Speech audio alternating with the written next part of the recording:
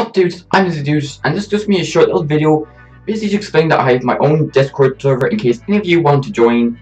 To be loads of stuff just if you want uh, like doing like different loads of chats like a general chat.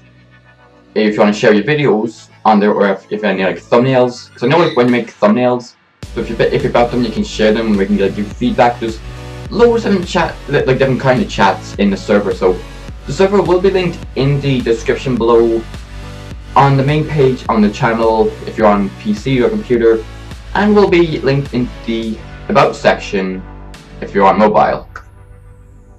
So be sure to check it out and you can feel free to join if you want. For you are joining, I'll see you there.